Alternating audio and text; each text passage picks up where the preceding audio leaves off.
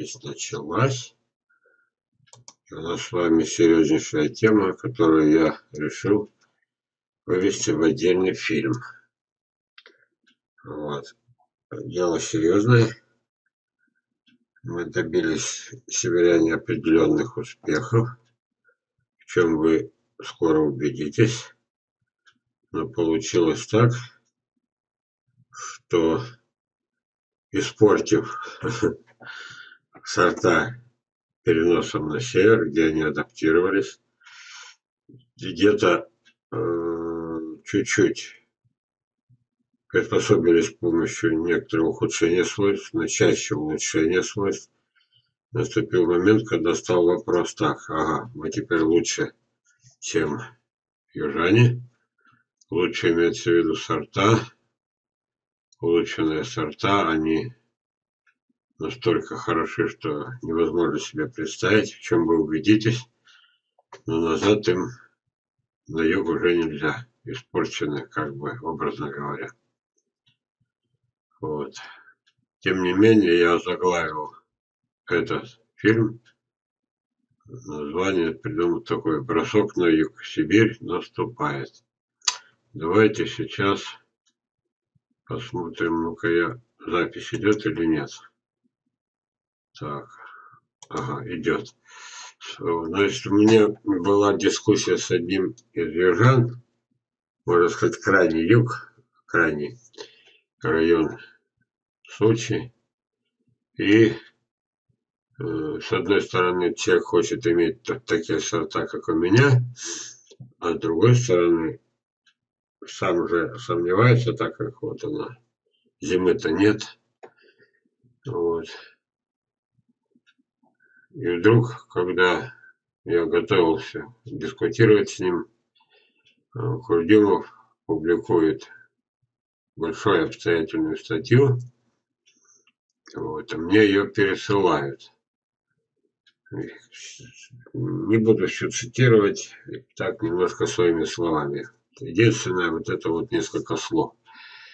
Есть давно доказанное явление. Только единицы сотен сибирских сортов способны жить и плодоносить черноземье, тем более в Южном федеральном округе. Только единицы сотен.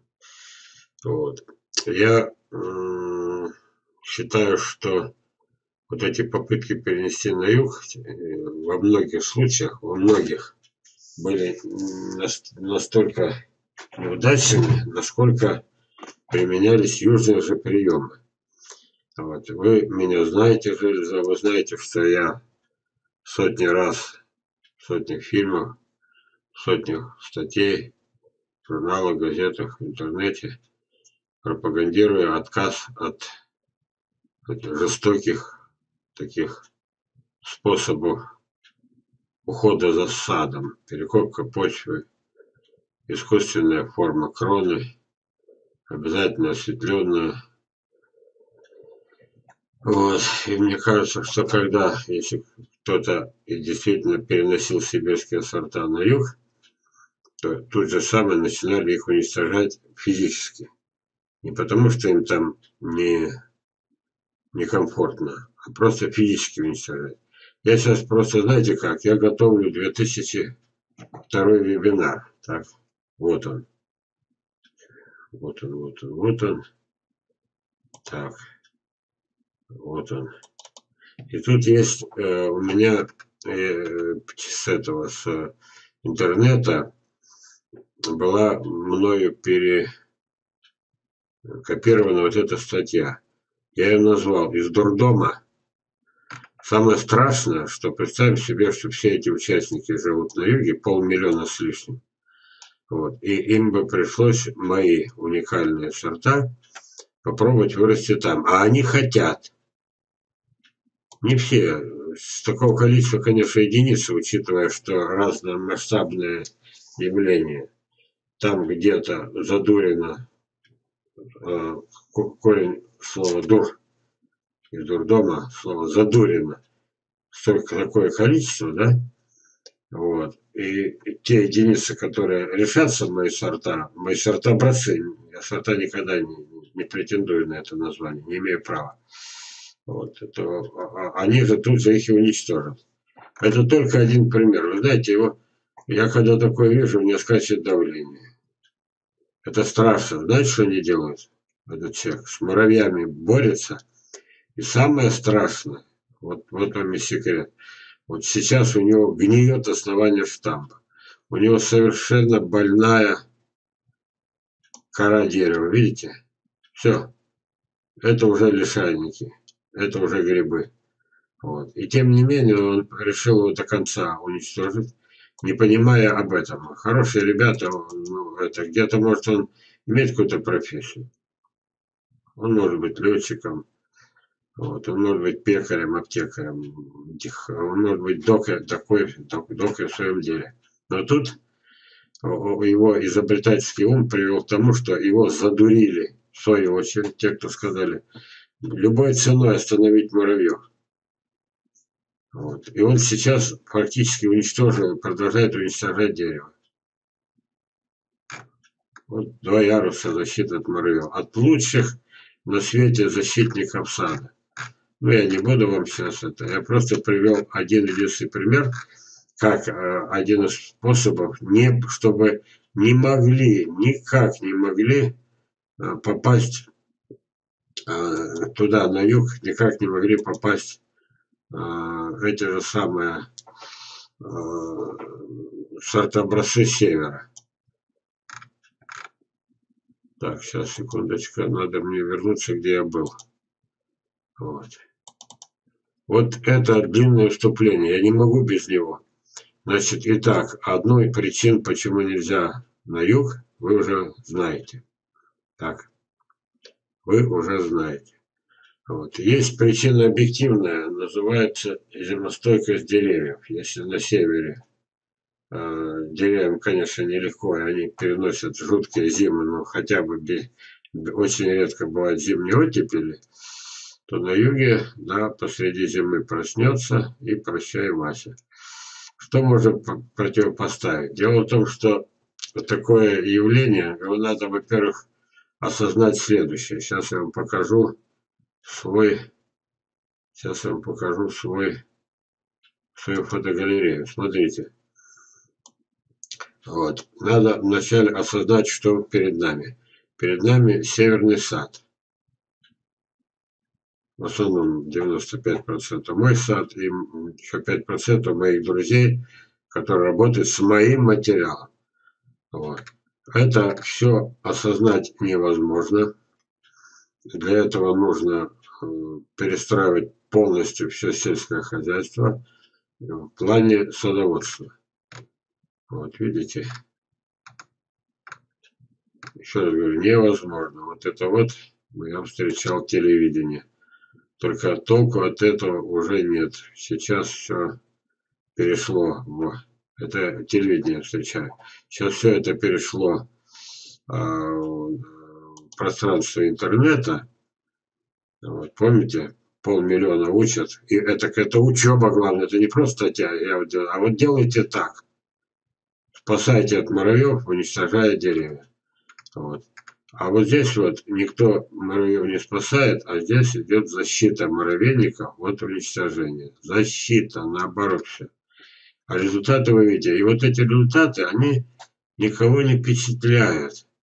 То есть как будто этого не существует. Вот эти редкие случаи приезда телеканала, да, редчайшие случаи. Вот. Раньше приезжал часто, а сейчас говорят, гонима нету, тогда приедем. Раньше в очереди стояли, а сейчас вот так победила противоположная точка зрения. А этого нет ничего. Этого просто нет и это, и все. Как, как бы не существует. И этого год за годом, год за годом, год за годом. Вот. Каждый год вот такие вот явления. Странно, да? Вот. Академии наук не надо, Минсельхозу не надо, Министерство высшего и этого образования, Министерство науки тоже не надо. Все это должно быть давно изучено, все внедрено. Вот. Но пока будем маленькими шажочками. Этот фильм увидит несколько сотен человек. но не полмиллиона, как тот, что учит убивать. Вот. Исчезли, видите? Это журналистка. Угощаю персиками неукрывными. Все исчезло. Все любопытство, интерес. Вот. Устали смотреть? Я даже устал листать. Сейчас я вам покажу, о чем мы будем говорить. Посмотрите на эту фотографию. Одной из сотен тысяч. Вот. Это абрикос с юга, который я привез в виде веточки с юга с Украины. Это Херсонская область, Береславский район. Вот. Привил на Манджурса, вырастил. Это один из примеров, потому что некоторую часть моей коллекции составляют европейцы. Те, которыми нас пугает Европа. Оттепели, все урожая нет, это фактически так оно и есть. Если выход, вот в чем дело. Итак, это перед вами жердель. Самые простенькие абрикосы. Правда, вкусные. Вот. У меня с кислинкой, а на юге чисто сладкие, там теплее. И вот это вот мной проверено, я сам с, это самое, с, с юго-запада Украины э, выходец. Проверено мной как. Конечно, без этого без статистических данных, но каждая зима, а я там прожил много зим, каждая зима, оттепели, сырость, упадет снег, растает, в воздухе туман, да такой влажный, влажный, влажный туман. Вот. Зимой может быть и плюс 10. Вот. А они плодоносят там ну, меня тем более плодоносит, здесь оттепели нет. Ну вот я привел пример, когда абрикос не боится этих самых оттепелей. А где он живет? Он живет посреди моего сада. Так. Вот. Рядом, кругом.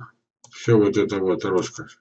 Рядом с ним, рядом с ним, рядом с ним, рядом с ним, рядом с ним. Вот.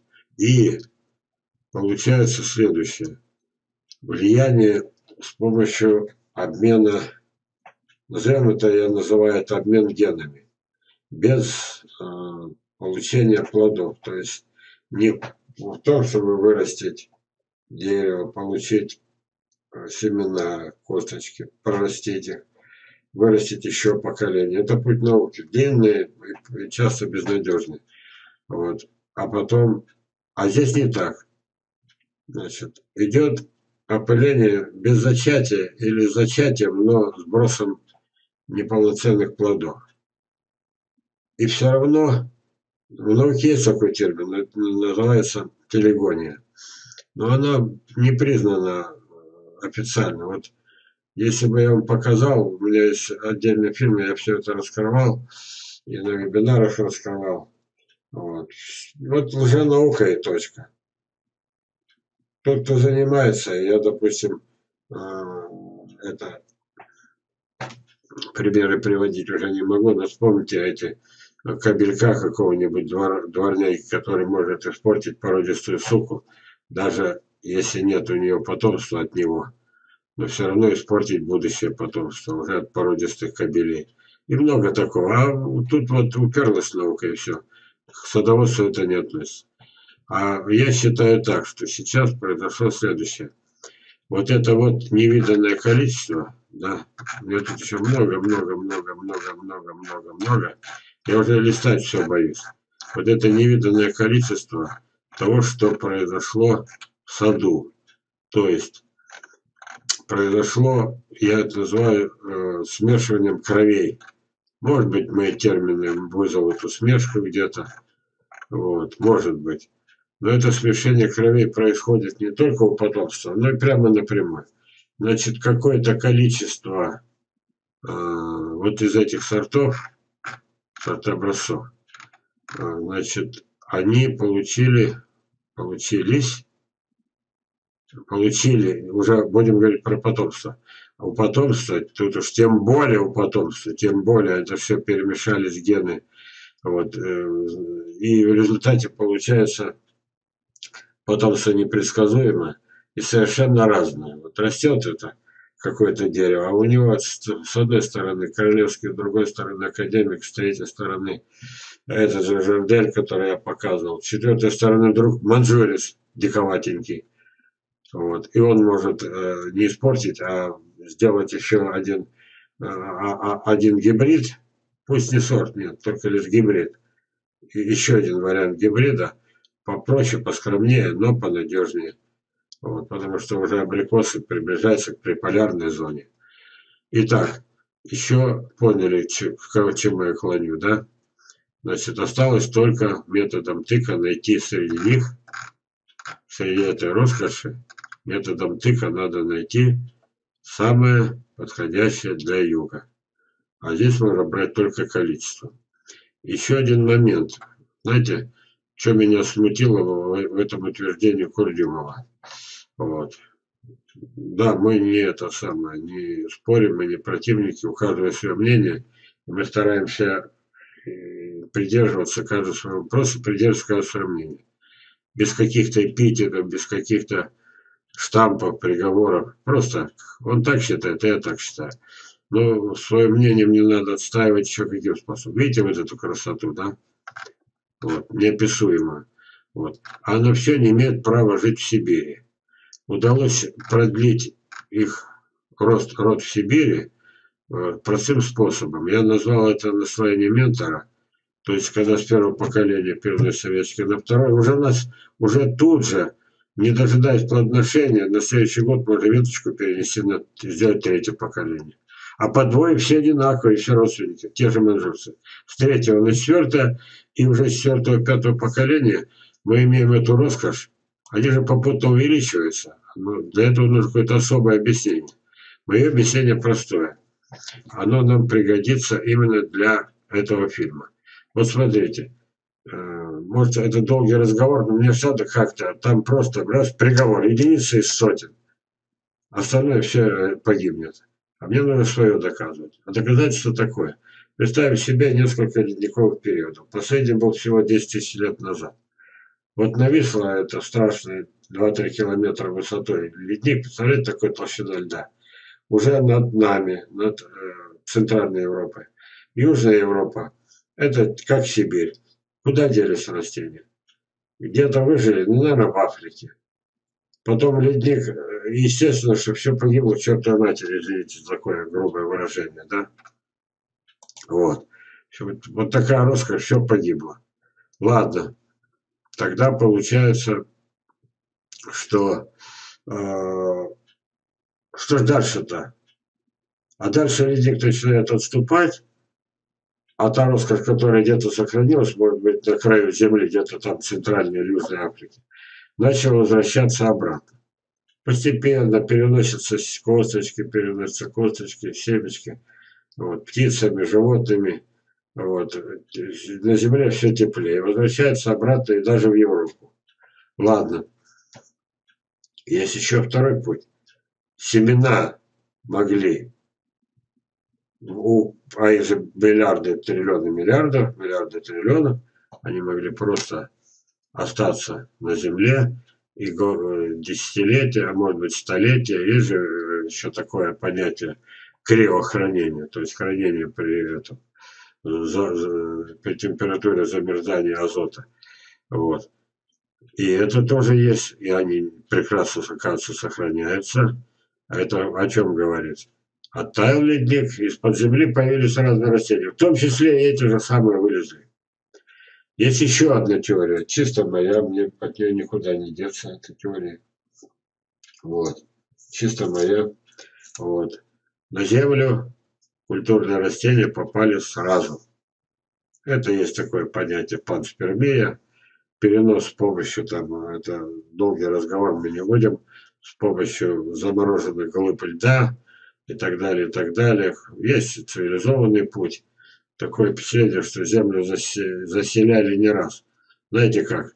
Шесть или семь всемирных вымираний, и оно прослеживается в отложениях всевозможных отложениях этих самых э, осадочных пород. А потом бах, нет ничего. И вдруг вот они, слон, мамонт, акула, огромный кит. Вот. Ученые, которые не придерживаются версии панспермии или, например, цивилизованного пути, так, не придерживаются, а просто стоят мертвы на своем, ну, чистые, значит, э, такие, как сказать, не назовешь дубовыми. Вот. Ну, атеисты, они в Африке атеисты. Что с них взять? Вот. Нет и не быть не может. Вот им были вынуждены, что за 30 миллионов из мышки, вот смотрите на это, размер мышки, вот, вот, видите? Из этой мышки за 30 миллионов лет получился человек. А им скрыть нечем. Если божественное произведение исключает, цивилизованное исключает, панспермию исключает, получается одно. Из этой мышки, это на полном серьезе, и это проходит в школе. Это мышка-нарушка, вот, это самое, которая выползла из норы, видите ли, там после очередного катаклизма ее враги, эти кровожадные, зубастые, э, перед этим, которые были динозавры, исчезли, жрать их некому, и они вылезли и стали человеком. За 30 миллионов лет. Вот эта глупость величайшая, она процветает. Это и дает возможность убивать людей, разрушать города, бомбить. Бога-то нет. И вот получается, что это еще один путь, вот, который я назвал. И тогда получается, что э, пусть цивилизованным путем попали на Землю, вот, или диким путем с помощью глыб льда, астероидов, а быстро-быстро, а у них уже все это было в генах. Э, существует э, интересная вещь, что в каждой, уже не почке, в каждой клетке есть э, это самое, в ядре есть заложена способность вырастить целое дерево. Из каждой клетки, как дерево, миллиарды, триллионы клеток, каждая из них способность вырастить дерево. Тут уже, извините, Дарвин ни при чем. Это чудо и чудес до сих пор не осознанно, до сих пор. Это значит, жизнь была вечная, она была не 30 миллионов, это мышка превратилась собаку, а потом человека, или там крысу, собаку, вот, человека. Нет. Это триллионы триллионов лет, потому что развить такую способность практически невозможно. Вот. И после всего этого я что хочу сказать. Э, шанс э, вырастить на юге сибирское дерево, оно условно сибирское. Вот смотрите, можем ли мы назвать вот эту всю роскошь сибирским. Они тут прожили-то. Я Жардель сказал, я в 2001 году привез. Почему нельзя вернуться на юг? Туда, где, как, например, в районе Сочи ни черта абрикосы не растут.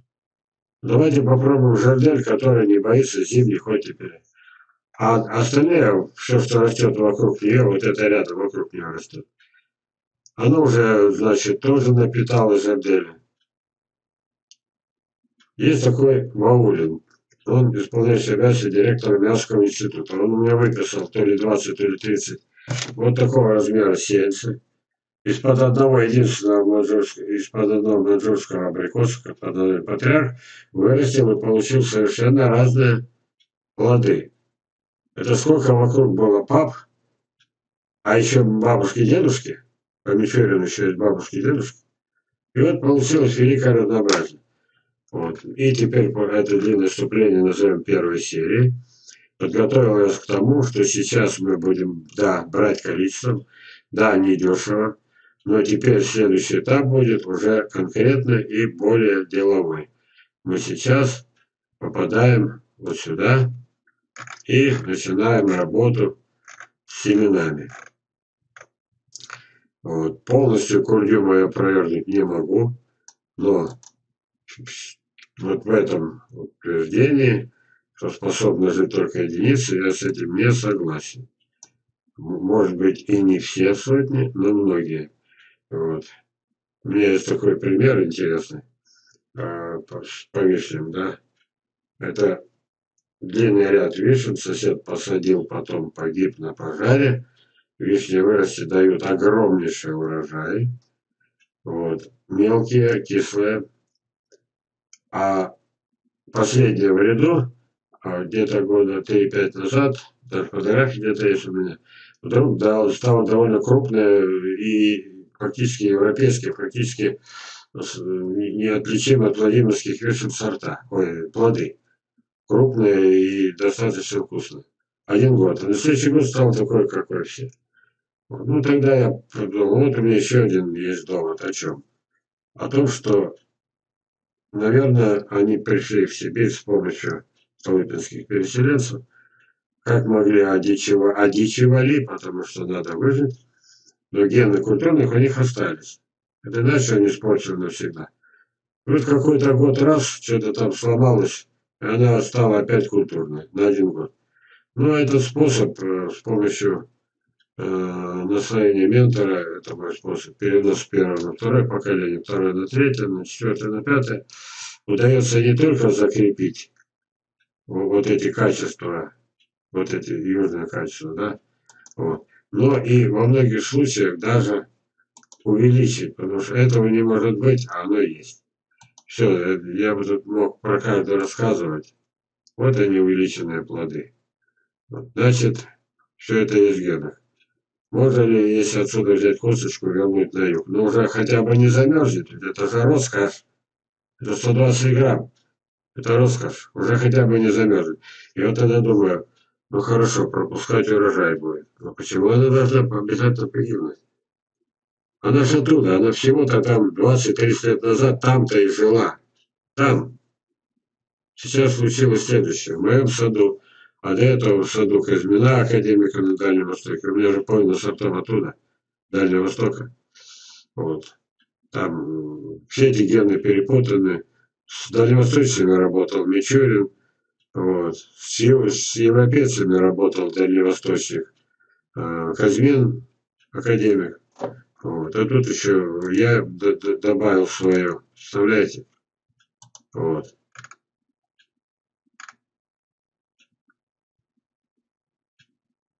Так, ну что, будем первую серию заканчивать. Если вас убедил, что взять вот это все количеством, количеством, количеством, то можно добиться чего? Можно добиться э, возрождения заметьте мое слово, там что такой процент гибели, там такая безнадега в районе того же Сочи, что может добиться возврата. Пусть не всего, но и опять там можно вырастить несколько поколений довольно быстро. Тут не надо э, от семечка до семечка, это 5, 8, 10 лет. Тут надо прививками. Тогда получается всего несколько лет а не 3-5 поколений по 5-8 лет. То есть человеческая жизнь. Давайте, друзья, заканчивать и начинать новую серию. Остановить запись.